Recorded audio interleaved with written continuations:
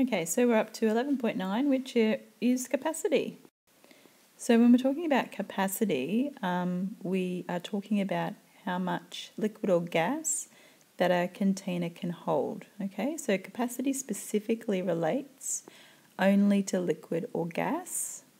Um, the basic unit used to measure capacity is the litre, which equals a thousand cubic centimetres, so one litre equals a thousand cubic centimetres.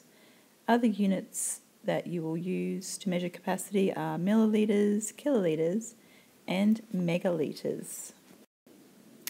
Alright, so now capacity and volume are related to each other. So you may need to find the volume of something before you can find the capacity. So volume tells us how much space the object can, can hold or can contain um, while capacity specifically relates to how much liquid or gas that is. So you might um, have a container that's a thousand that can hold a thousand cubic centimeters.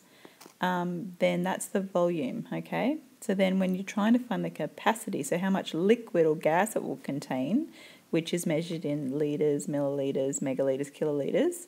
So you need to convert from cubic centimeters to whatever the liters or milliliters, megaliters, whatever you're trying to find. Okay, so um, that's how volume and capacity relate to each other.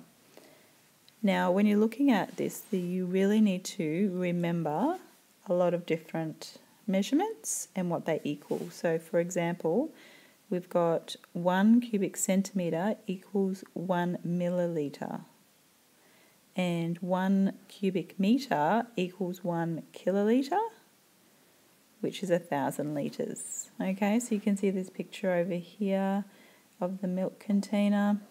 It's actually the volume of it is a thousand cubic centimetres, and the capacity of it is 1000 millilitres, which is one litre. So it's just a different way of writing it um, because we need to show the um, capacity in the liquid if we're measuring the liquids.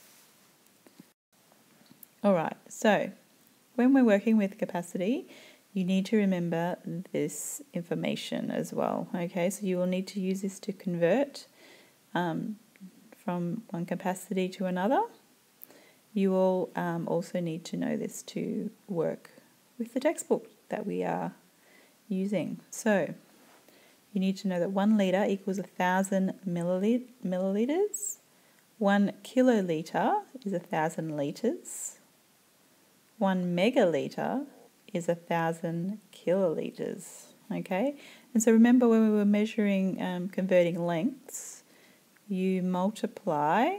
When you multiply, um, you're making the you're multiplying from the larger unit to the smaller unit, and then when you are dividing, you are moving from the smaller units to the bigger units. You remember multiply right, divide left when we are working with these things.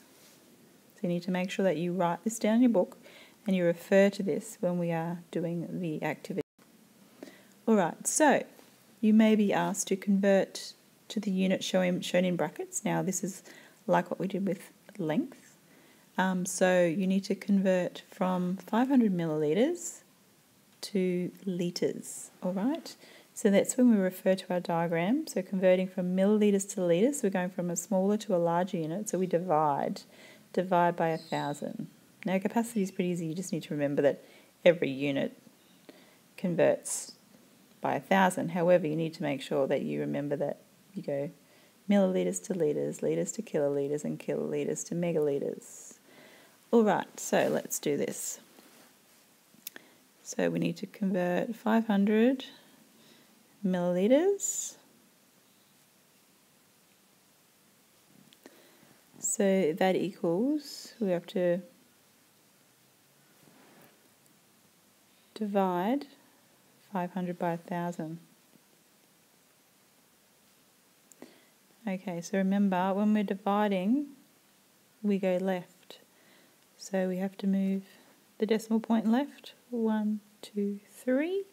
Three decimal places, so that would equal 0.5 litres. So 500 millilitres is 0.5 litres, which is half a litre. Okay, you probably know that from working with milk.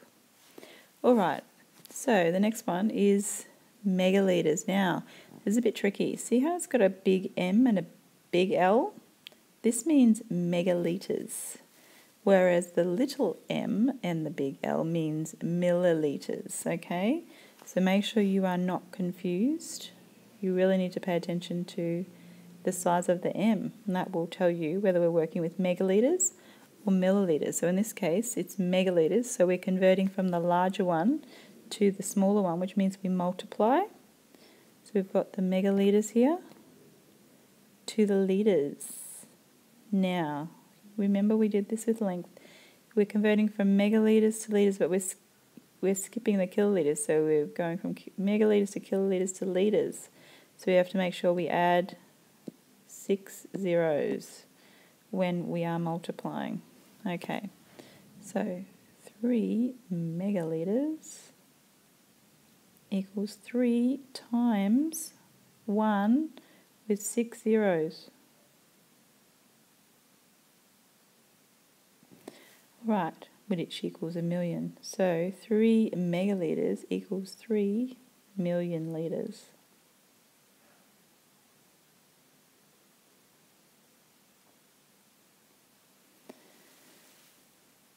And there's the litres there. Okay, so pretty easy, but you need to make sure that when you are converting and skipping a unit that you actually add all those zeros together. Okay. Now let's have a look at a bit of a more complex example where you need a couple of different steps to work out the answer for this one. So you'll be asked to find the capacity of, of containers in litres. Now, the measurements though are in centimetres, so you're going to actually need to use your knowledge of volume and capacity relationships, which is the stuff here, and then you're also going to then convert that to the units, you know, to change from one unit to another. Okay, so there's two different steps in this. So you need to really make sure that you go over this, not just watch it once, but just go over it a couple of times so that you understand what to do. So first of all, we actually need to find the volume of this container. And we know that the volume is length times width times height from our previous topics. So we need to work out the volume first.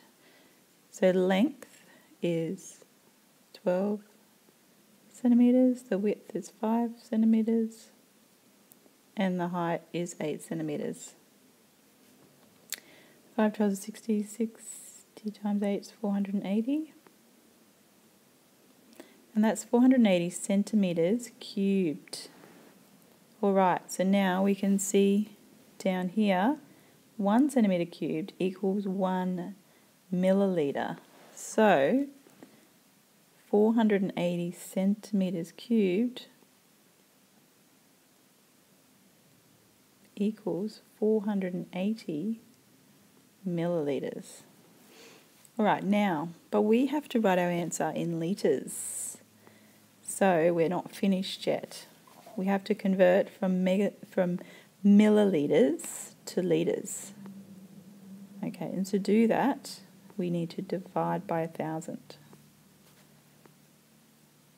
So, now 480 millilitres equals 480 divided by 1000. So remember, divide left, 1, 2, 3. So our decimal place in front of the 4. So it's 4, 0 0.480 litres. And we finally worked out the capacity of that container in litres. Okay, now it's your turn. I want you to convert these units to the units shown in brackets, making sure that you are using this diagram to help you. Please pause the video and do that.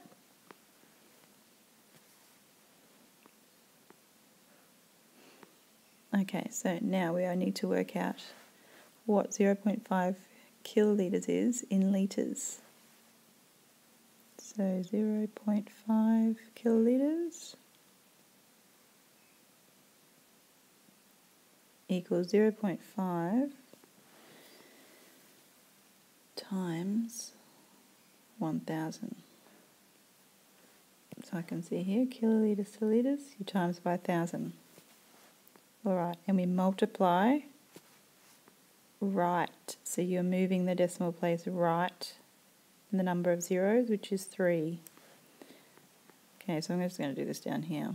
0 0.5. And I've got to move this decimal point 3. 1, 2, 3. So I'm going to put little zeros in there. So I've moved the decimal point now to here. So it's 500 litres. So 0.5 kilolitres is 500 litres. Alright, because we know that it's a thousand um, litres in a kilolitre. Alright, there we go. So next one. I hope you've paused the video to do this one.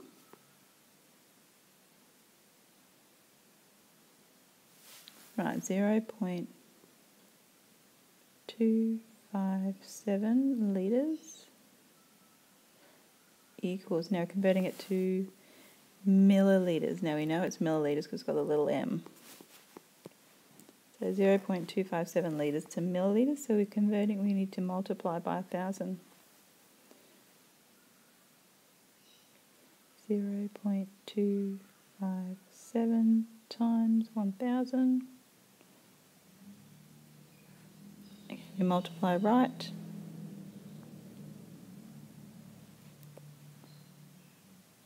One, two, three. So we're moving the decimal place after the 7. So the answer is 257 milliliters. Alright, hopefully you got those answers correct. This one now, remember we had to do multiple steps for this. So you need to find the capacity of this container in litres. Try and do this yourself by pausing the video to work it out.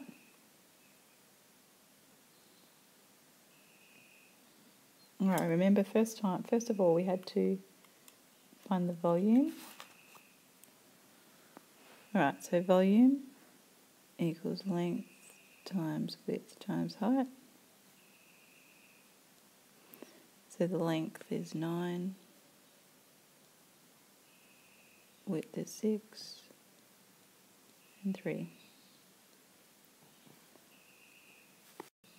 So that equals 162 centimetres cubed. And so remember, 1 centimetre cubed equals 1 milliliter. So 162 centimetres cubed equals 162 milliliters. But we have to write the answer in liters. So to convert from milliliters to liters, we divide by 1,000. So 162 milliliters equals 162 divided by 1,000. Divide left. 1, 2, 3 equals